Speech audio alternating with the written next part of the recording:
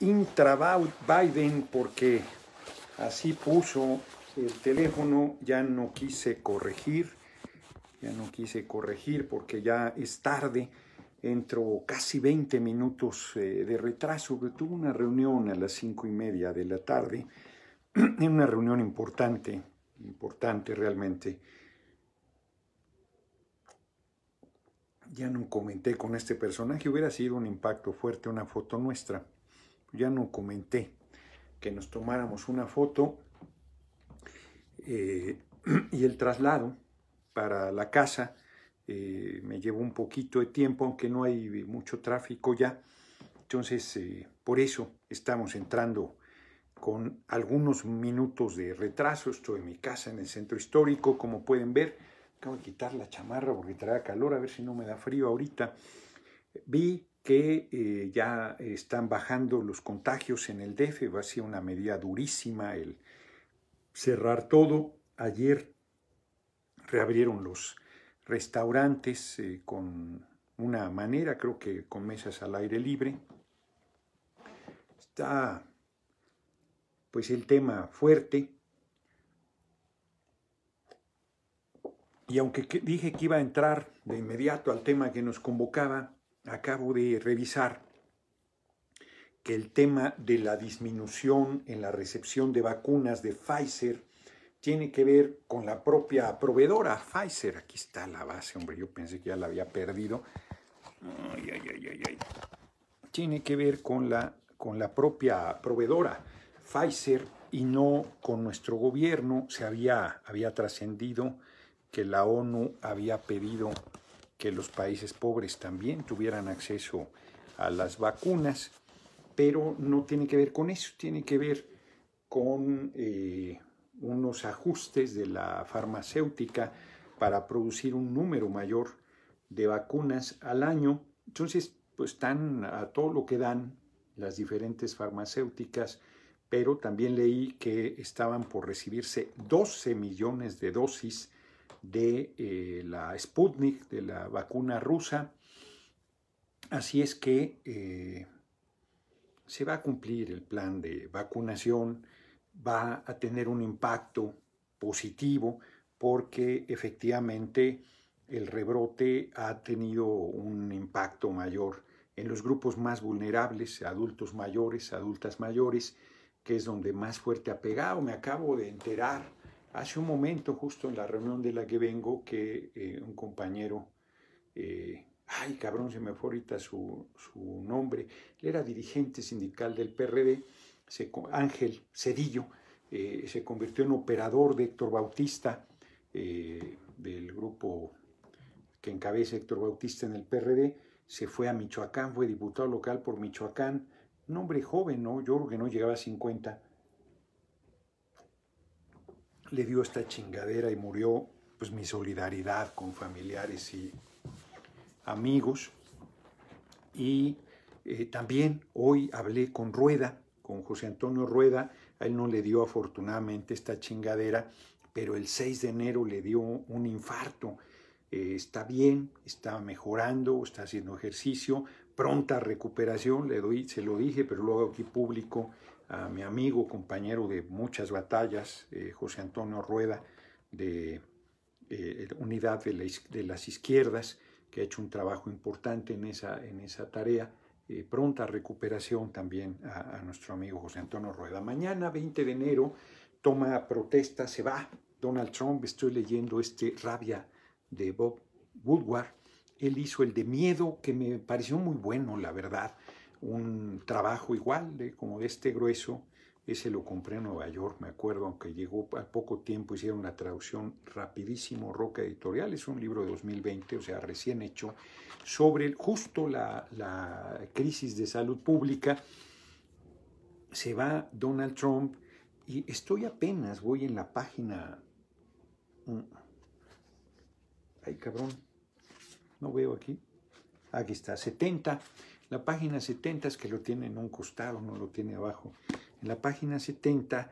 Y miren, eh, bueno, primero, como lo había yo anunciado, eh, los demócratas pues, no iban a, remover a Donald Trump, era un despropósito. Cuando tú lo que quieres es eh, el, relevo del poder, recibir el gobierno en unos días después de la toma violenta del Capitolio de grupos supremacistas que generaron algo inédito en los Estados Unidos y que demostraron el nivel de tensiones existentes en el vecino país, en el todavía poderoso militarmente, sin duda, vecino país. ¿Mm? Destituir a Donald Trump era un despropósito. Vi, los medios dieron por hecho que iba la, la remoción, y yo decía, eso no van a hacerlo. Yo creo que va encaminado a detener a Donald Trump, a ponerle un estate quieto, a meterle presión para que entienda que no debe volver a tomar un paso en falso como la toma del Capitolio, que debe hacerse la transición del gobierno sin mayor dificultad, como el propio Donald Trump lo ofreció. Pero los demócratas, me parece que también con razón, dijeron no vamos a andar investigando si Donald Trump va a cumplir o no su palabra y decidieron meterle toda la presión eh, amagándolo con destituirlo porque eso entiendo, yo no soy conocedor del, marco legal norteamericano, pero entiendo que eso implicaría que no pudiera presentarse para eh, un nuevo proceso en el 2024 todo está a unas horas para que eh, Joe Biden sea eh, ungido, eh, asuma la responsabilidad más importante de un político en Estados Unidos y en el mundo, el servir desde el poder ejecutivo la máxima responsabilidad que un político puede, una política puede tener del país militarmente más poderoso del mundo y que ha sido hasta hoy, yo creo que, yo creo que ya no es, pero digamos que ha sido hasta hoy la potencia económica más importante. Decía Bolívar que Estados Unidos, eh, palabras más, palabras menos, está llamado eh, a sembrar dolor y sufrimiento y desgracias en nombre de la libertad.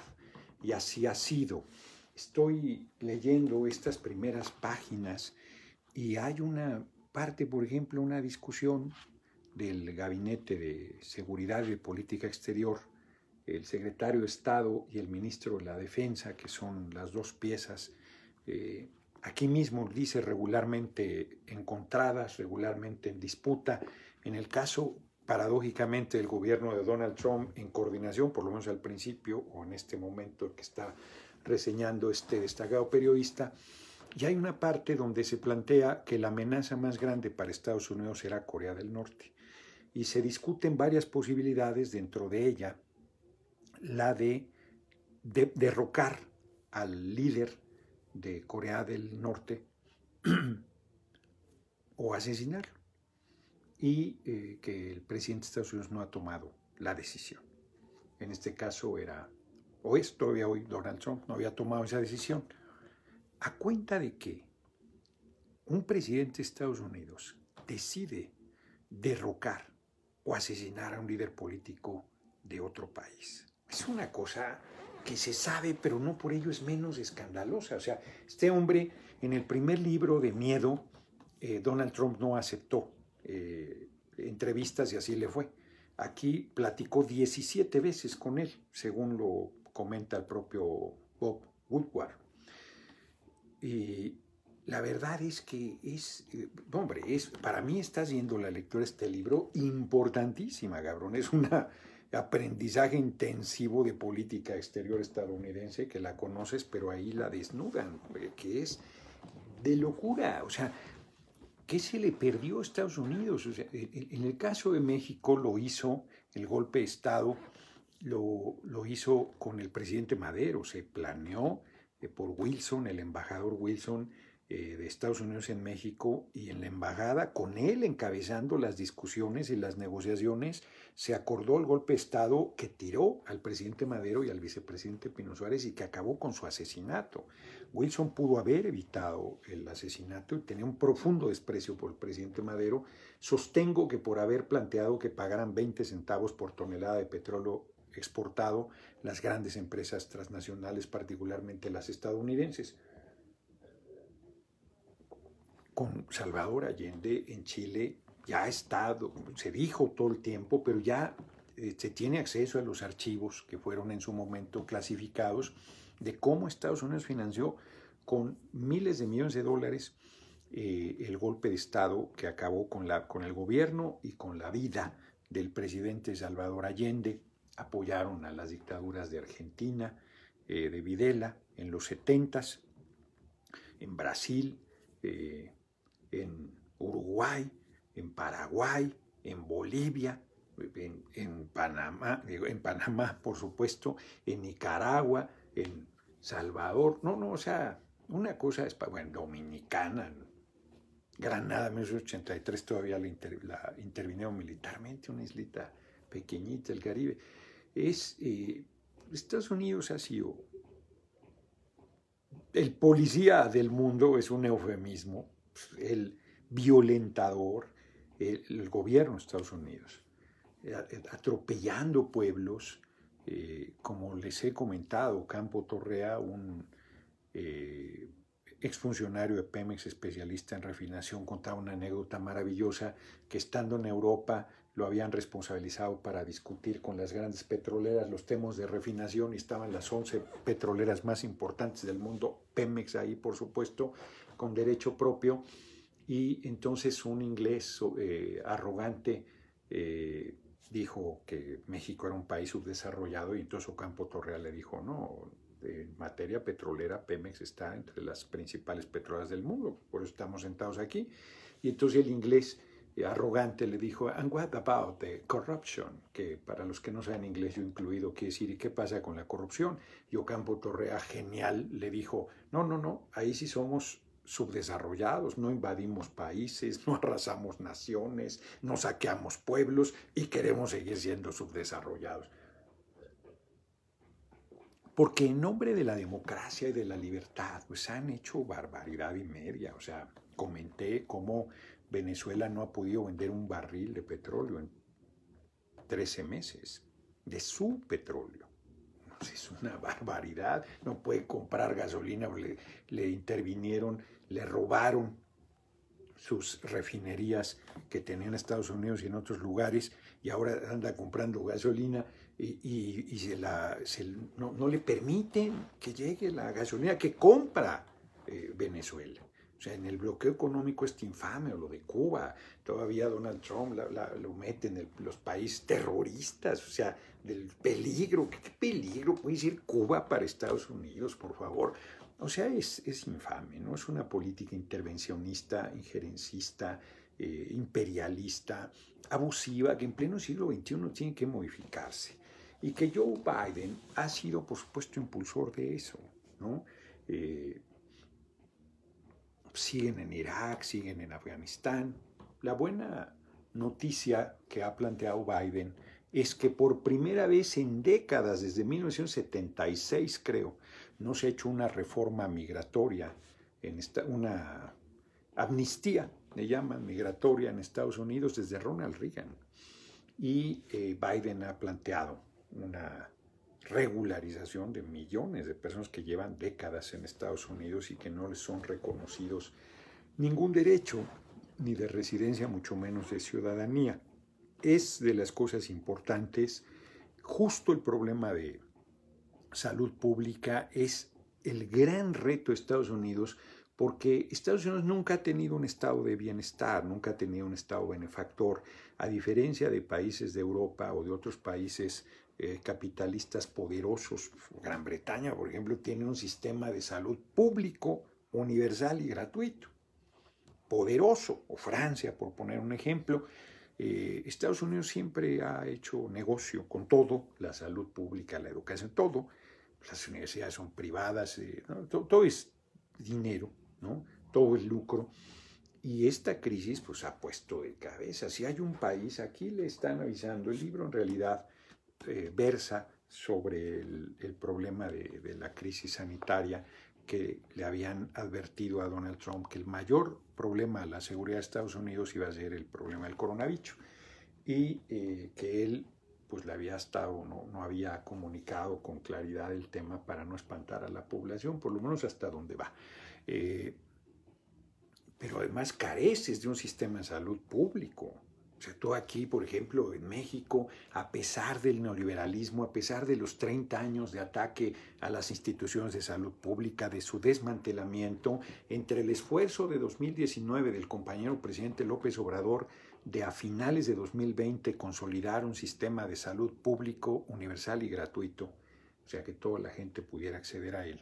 En ese esfuerzo y en la emergencia que cae y decide generar de la nada, de la noche a la mañana, una infraestructura de salud especializada en atender la llamada pandemia eh, y poner al servicio del pueblo las principales estructuras eh, de, de, servicios de salud públicas como es el IMSS, como es el ISTE y como son los hospitales militares, además de los hospitales de salud existentes, pues se da una, una respuesta que en Estados Unidos pues no puede darse.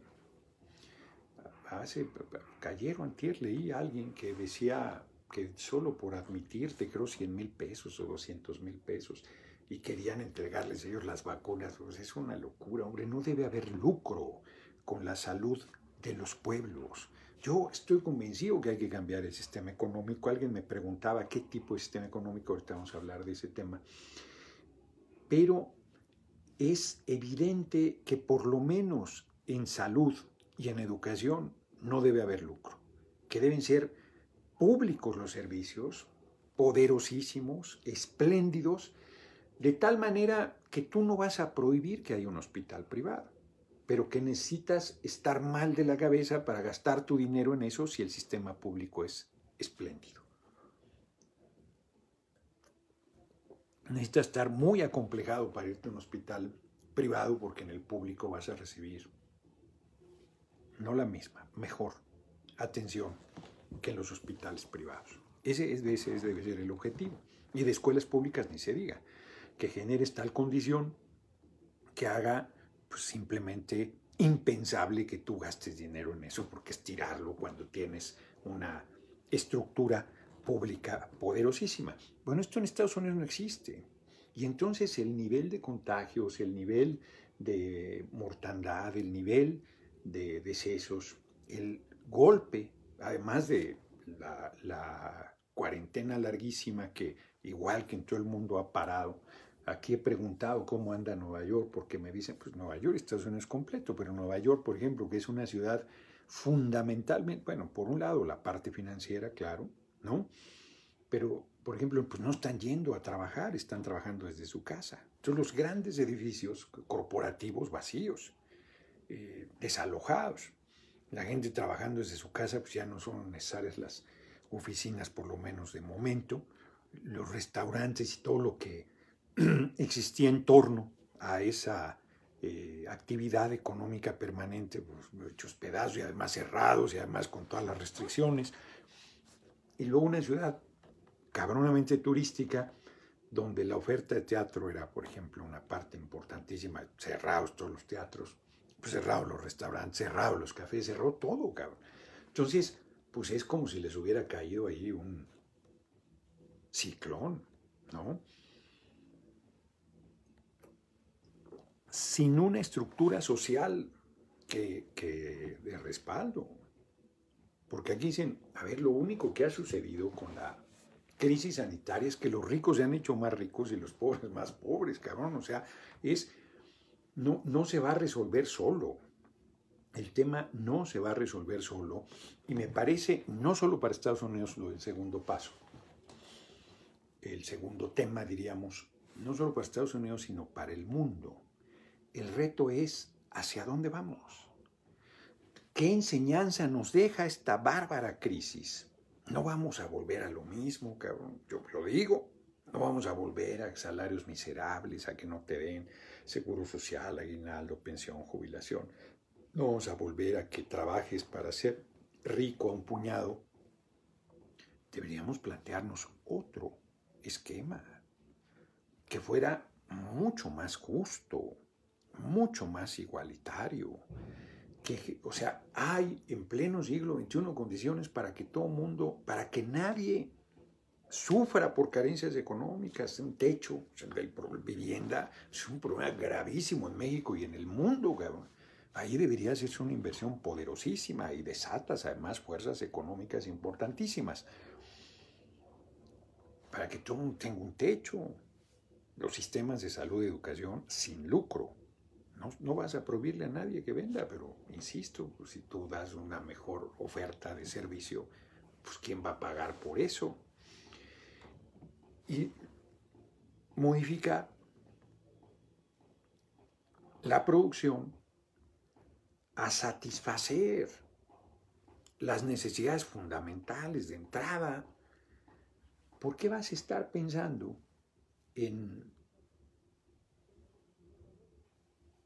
qué, puedo hablar de...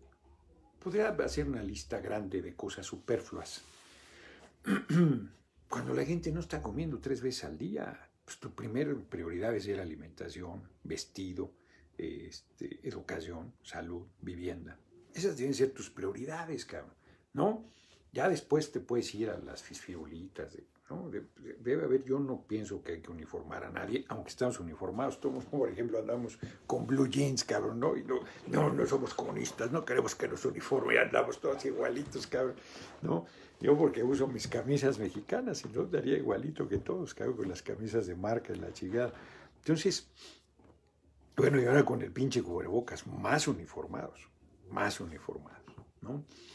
Entonces, resolver lo fundamental, las necesidades básicas, reorganizar la actividad productiva para que todo el mundo pues, esté comiendo, esté haciendo ejercicio, tenga acceso a educación, tenga, libros, o sea, hay que acercar los libros a la gente. Hay que acercar películas a la gente. Yo estoy convencido que debemos hacer un cinito en todas las comunidades del país,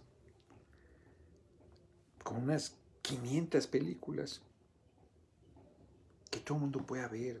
Por ejemplo, desde Cinema Paradiso, bellísima, hasta si la batalla de Argel muchas, de narcos, no de narcos, de, mafiosos también. Sí, no, no, no. Me acuerdo, estoy acordando por las películas viejitas, Carlitos Way, Camino de Charlie, Charlie's Way. Las del Padrino son buenísimas. Eh, las de, estaba viendo que hay un libro por aquí eh, de Stieg Larsson, sobre Stieg Larsson, el legado el que escribió la trilogía del milenio, buenísima crítica, policíaca, buenísima crítica a la sociedad eh, sueca. Debería ser una lista de películas, porque yo digo mucho al cine, hace un rato que no voy. Bueno, el, Joker, buenísima, cabrón, buenísima la película. Mi hermanita María Fernanda Campa Oranga no era muy de, del cine. Me acuerdo que en algún momento le recomendé Persepolis y le encantó y le regalé el libro de Persepolis, que es buenísimo, buenísimo. Eh, por cierto, hoy se cumple, me comentó ahora, hoy se cumple eh, aniversario, creo, de natalicio de Edgar Allan Poe, que no, ese no se lo sé, no sé si se lo recomendé dentro de las lecturas, pues, sus cuentos de misterio y de horror de Edgar Allan Poe, es un clásico que estuvimos el año pasado. Pues sí, el año pasado todavía estábamos en Cuba y luego en Nueva York. Y como hemos, habíamos ido los tres últimos años a Nueva York, estuvimos en la casa de Edgar Allan Poe, chiquitita, cabrón, o sea, antes no la han tirado, cabrón, norteamericanos tiran todo. Chiquitita, de madera, fuimos ahí, creo que hasta hice una transmisión, pensé que estaba cerrada, son dos o tres piezas, súper austera, estaba en el campo, ahora está en, en, el, en el Bronx, creo, creo que sí, en el Bronx, en Nueva York. Y, no, hombre, maravillosa, iban a hacer algo ahí, iban a hacer un centro cultural y tal. estaba ahí su cama, su silla, pocos libros, o sea, muy austera, una cosa, un genio, un genio, Edgar Allan Poe. Parece que murió por problemas de alcoholismo. Y eh, hace muchos años, eh, ¿qué editorial fue? Ahorita me voy a acordar, una editorial española sacó dos tomos de sus cuentos. Eh, este, Alan Parsons tiene un disco buenísimo, cuentos de misterio de Edgar Allan Poe, creo que se llama, el disco es buenísimo. Y esos dos tomos, Alianza, Alianza Editorial lo sacó, muy buenas traducciones, muy bien. Presté uno y me lo Birlaron, que tiene los más clásicos de Edgar Allan Poe. Pues hoy hizo un natalicio. Entonces, volviendo al tema, pues sí debería, o sea, la gente, ¿cómo lee si no hay una pinche, una pinche biblioteca decente y luego ya está ahí abandonada, valiendo madre? Pátzcuaro, cabrón, Pátzcuaro, que es tan bonito, tan importante, una población tan bella, tiene una iglesia del siglo XVI que es la Biblioteca Gertrudis Bocanegra. Gertrudis Bocanegra, Bocanegra es de las eh, mujeres que lucharon por la independencia, varias veces la detuvieron y la última vez la ejecutaron ahí en la Plaza Vasco de Quiroga, si mal no recuerdo, o en la otra, ya no sé dónde está la biblioteca, porque no tuvo dinero para pagar su este, liberación, porque varias veces, dos, por lo menos dos veces, si mal no recuerdo, la había comprado y esa tercera no tuvo y se la ejecutaron. La eh, biblioteca en su honor eh, lleva este, el nombre de Gertrudis Bocanegra, una iglesia del siglo XVI que el general Lázaro Cárdenas me hace que fue quien la entregó. Bellísimo edificio con unos murales de O'Gorman, creo. Es un lugar, ahí le hicimos un homenaje a Porfirio Muñoz Ledo con el actual alcalde Víctor Valls.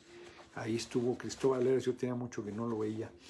Y muchos compañeros, compañeras, ahí estuvo Corral, el actual gobernador de Chihuahua, se hizo el grupo Pátzcuaro, que acabó valiendo madre, andaba Martínez Veloz del PRI. En fin, muy madreada, estoy seguro que no se le ha metido un clavo, fíjense, apenas me estoy acordando, que rescatar eso.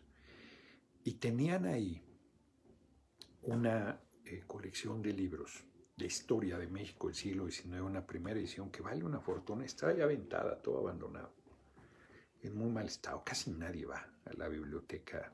No, en mal estado, la gente que hay cuida con muy malos salarios. No, no, no, no, una cosa. Y es Pátzcuaro, cabrón. Es Pátzcuaro. No, imagínate los pueblos del país sin bibliotecas, qué pinche biblioteca, nada, cabrón. Lee algo, güey. ¿Dónde saca un pinche libro, aunque tenga ganas, no? no. Está cabrón. Entonces acercar, todo el mundo debe tener, lo he comentado, un centro deportivo, un centro cultural, una biblioteca, un cinito, por supuesto un centro de salud, por supuesto educación mínimo hasta la preparatoria, en las principales comunidades del país. Ya se hablan ciudades, de, no, no, ahí con mucho mayor razón, colonias, zonas, regiones. Eso tenemos que hacerlo, hombre, tenemos que llevarlo a cabo. Hay tantas cosas por realizar y son tan exiguos los recursos económicos. Es mucho, pero es muy grande el país, me decía el ministro de Cultura, Ernesto Villegas. Creo que compartí aquí que mandaron 10.000 libros de, eh, impresos en Venezuela de escritores venezolanos a México. para nosotros es muy importante, pero claro, sea, para ustedes 10.000 pues es nada, es que en México lo chico es grande. Nosotros no sabemos lo grande que es nuestro país, lo importante, lo poderoso. Han madreado tanto a la gente que pues, tiene jodida la subestima, como digo yo, la autoestima. Y, entonces la gente piensa pues, que este país vale madre y que valemos madre. Y no, o sea, sí, es un país muy importante en el concierto de las naciones nuestro pueblo es mucho pueblo y el compañero presidente trabaja, francamente, pues no lo ha dicho así, pero trabaja en la recuperación de la grandeza de nuestra patria. Porque, y esa grandeza debe reflejarse en todos, en todas y cada uno y cada una de los que aquí habitamos, en su salud, en su bienestar, en su felicidad. Yo creo que pues, eso es este, clave, es básico, ¿no? ¿Cómo andamos de tiempo? Bien, 30 minutos, aunque empecé tarde, quedan como 15. No he comido, cabrón, no he comido porque me fui a la montaña. Qué bonito, cabrón, cómo es impresionante. Estuve ahorita en una oficina y, el ambiente es muy... Pues la gente está espantada. Entonces el ambiente es muy desagradable, cabrón. Entonces te empiezas hasta a sentir mal, cabrón. Ya quería yo abrir la pinche puerta mejor del, en una vista ahí chingona del, edificio en el que estaba, de los volcanes y de la ciudad. Eh, agobiante es. Eh, te sientes mal, cabrón, estoy bien, pero tú te, pides de mente débil, ya me enfermé. Ay, cabrón, que, que este, no, voy a la montaña, estoy a toda madre, man. o sea, fui a la zona donde solté simbólicamente las cenizas de mi hermanito Walter Vargas y dije que también quiero ahí, ya dije en otro lugar. Y hoy que estuve ahí otra vez dije, no, es que sí está re bonito este lugar. No he subido el video, porque ya nos quedó claro ahora sí, toda la, esa parte ya la recorrimos toda. Toda, todo, todo, todo alrededor y el centro, que es esa vista maravillosa. Qué bien me hace. Hoy voy a dormir aquí, mañana tengo reunión por la mañana mi equipo por lo del consejo editorial. Voy a conocer la oficina, voy a ver cómo están las cosas, voy a ver las bodegas, vamos a discutir el plan para presentarlo en la primera reunión. ya pronto empezarán sesiones el primero de febrero. Mañana hay reunión del PT. Yo creo que me voy a quedar en la noche a estar en la reunión. Y estamos, así como la canción que te vas y te vas y te vas y no te has ido, yo estoy que presento y presento y presento el juicio político y no lo presento. Mi equipo, yo que ya se me queman las alas, yo ya lo hubiera presentado hace ocho días, cabrón. y mi equipo está trabajando a marchas forzadas y como fue muy larga y muy fuerte la discusión de pretensión de censurar al compañero presidente con las mañaneras, bueno, vi que hasta en Lenita Poniatowska a la que yo tengo un cariño, respeto y consideración absolutas, lo cual no quiere decir que comparta su punto de vista político, que, ya chole con las maneras, no, qué barbaridad, qué pasó ahí, bueno, bueno, no, bueno, no pasa nada, es su opinión, pero está equivocada. Con todo cariño, está equivocada. Ahí está informando, es como, ya, ya chole con eso, no, güey si bien, si entran tres, si entran diez, si entran un chingo, si no entra nadie, yo voy a seguir. compañero presidente hace bien en estar informando todas las mañanas, en fijar agenda, en plantear las cosas, en clarificar. No, sin eso, imagínense si así hace daño las intrigas, imagínense sin esa información. Entonces, pues el equipo le cayó una montaña de información para la denuncia de juicio político con todas las necedades que dijeron la sesión de la semana pasada del INE. Entonces hoy que platiqué con ellos me dicen, estamos haciendo una chingonería, cabrón. No nos presiones. Vamos a tener el documento el viernes. O sea que ya valió madre esta semana, pero la próxima semana, yo espero el lunes, presentar esa chingada denuncia de juicio político. La voy a presentar antes del primero de febrero. O sea, ya, antes de que empiecen las sesiones, la voy a subir a la red, una vez presentada, con un formato para que me ayuden a recabar firmas y no he querido subir un formato porque quiero que conozcan el documento. Pues habrá quien lo lea todo, habrá quien lea una parte, habrá quien no lea nada, pero digan, nosotros los queremos fuera y firmo y vámonos.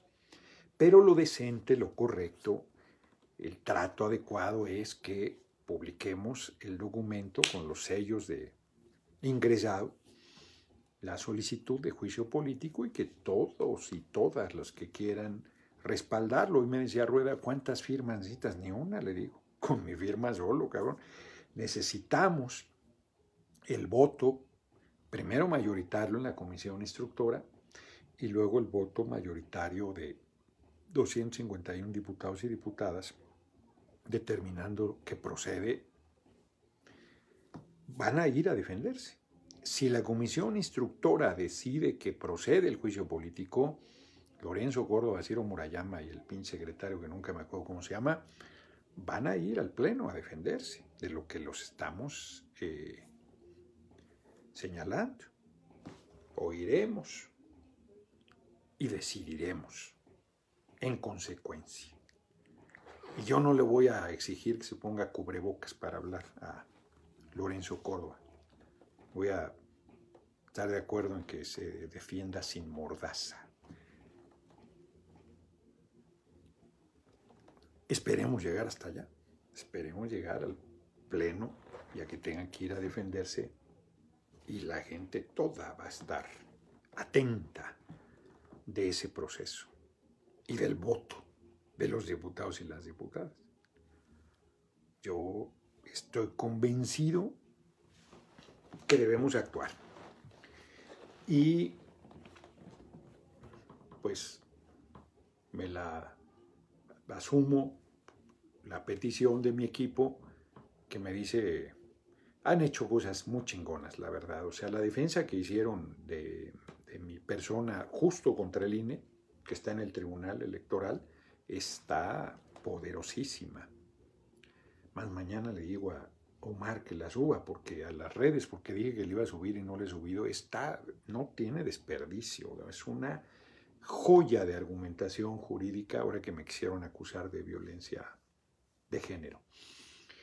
Eh, es verdaderamente poderosa. Hicieron un trabajo excepcional. Y yo, ahora están, pero eh, superándose a sí mismos, pues están ellos mismos muy exigentes con ellos mismos. Y por eso no estado el documento, porque podrían entregarme cualquier documento y decirme, bueno, ahí está, y haz dos observaciones y lo metemos. No, no, no, no, no están poniendo, echándole el corazón poniéndole todo, así es que no se me impacienten. No, pasa, no, no empezará el periodo ordinario, que empieza el primero de febrero, sin que haya yo presentado la iniciativa de juicio político contra los consejeros electorales del INE.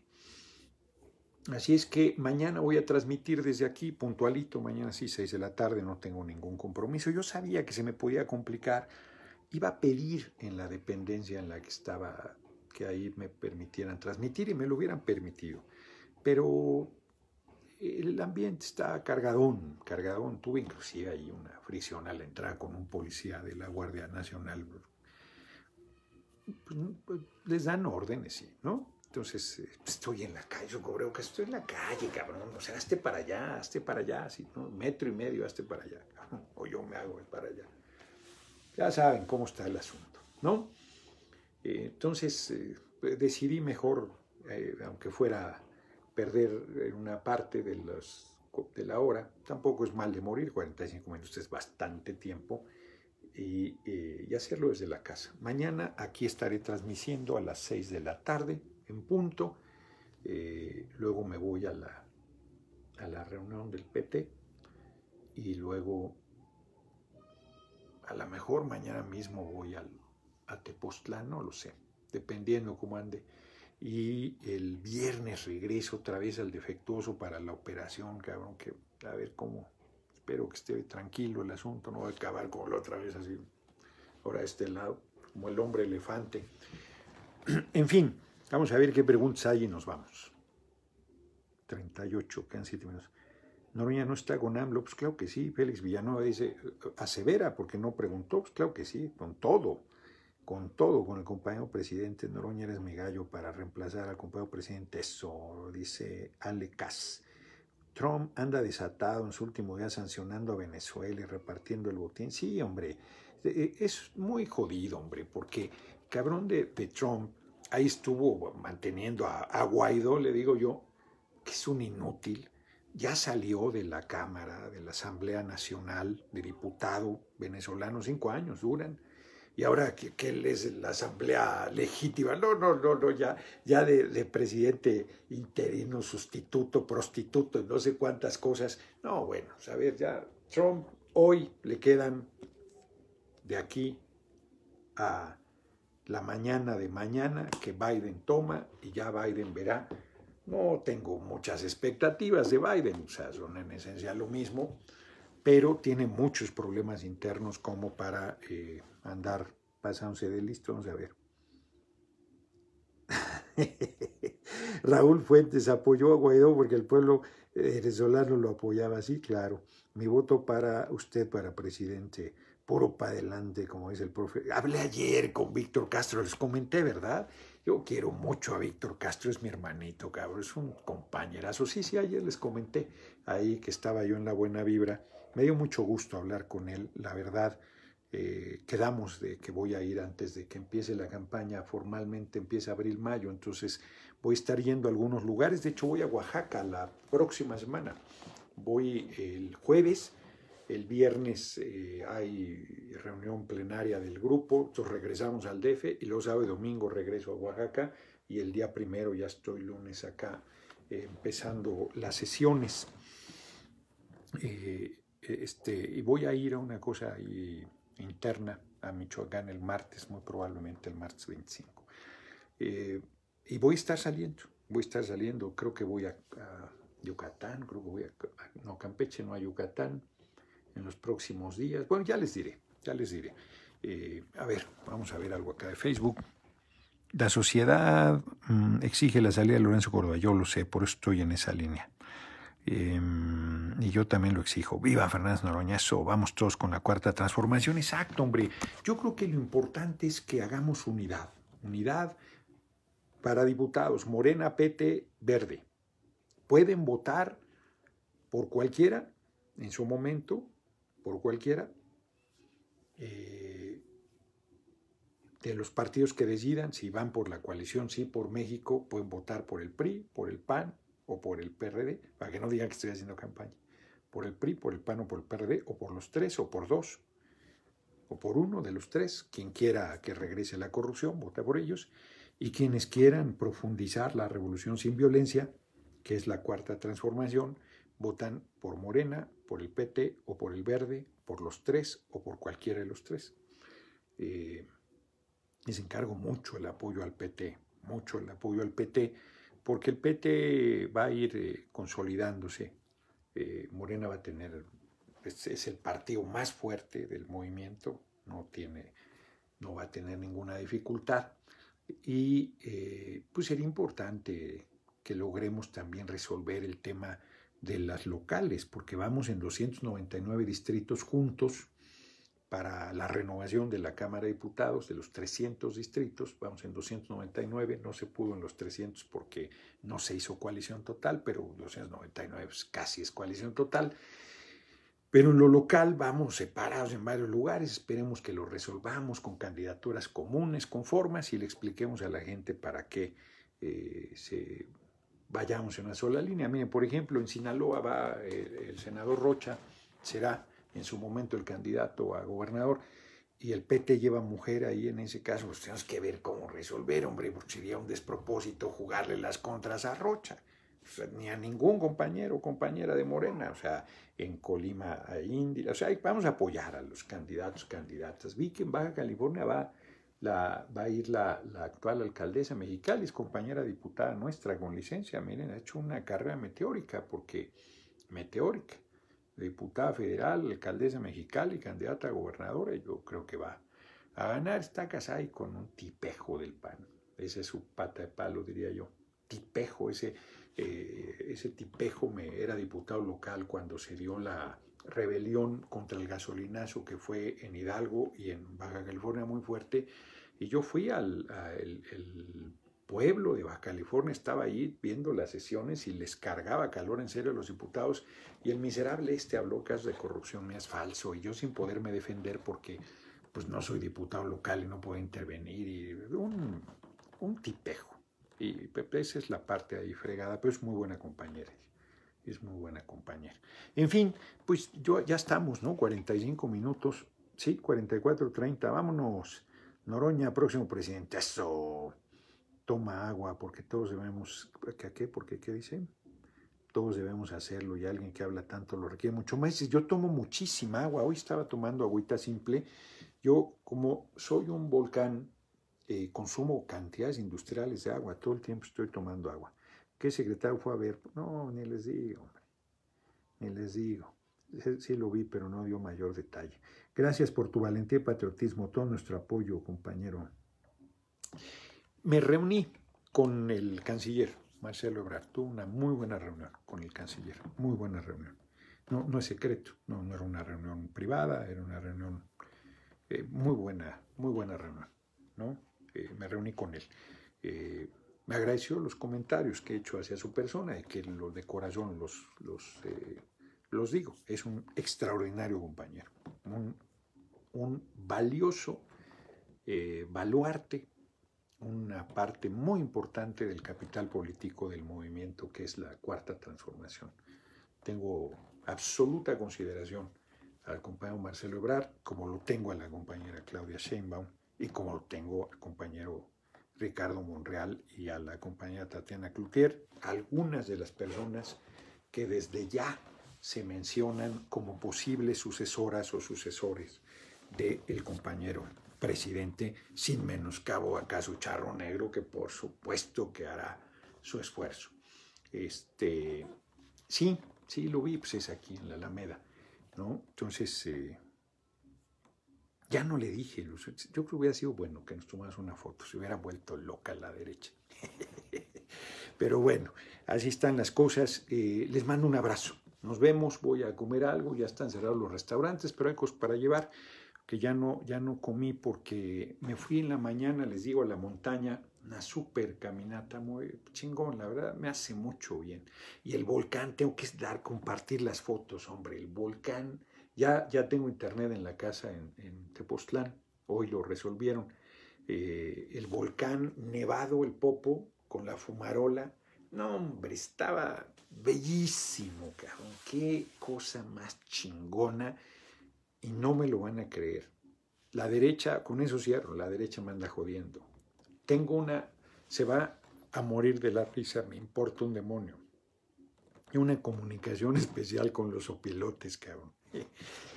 me hacen, me hacen espectáculo, Hoy volaron cerquísima, cerquísima. Dos estuvieron ahí. Les tomé una foto luego ahí cerca. Eh, pues, son bellísimos volando. Estaba yo eh, muy agradecido, muy agradecido porque fue una cosa realmente bella. Un pedacito del video lo voy a subir. Ahí está uno de ellos así volando chingón, además con el volcán allá detrás. Estuvo muy bien.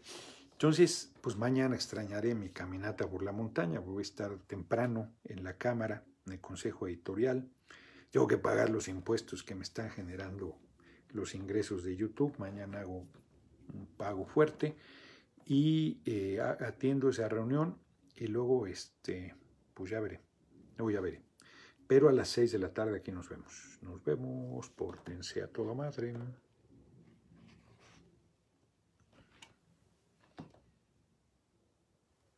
Muy bien, 14.252, muy bien.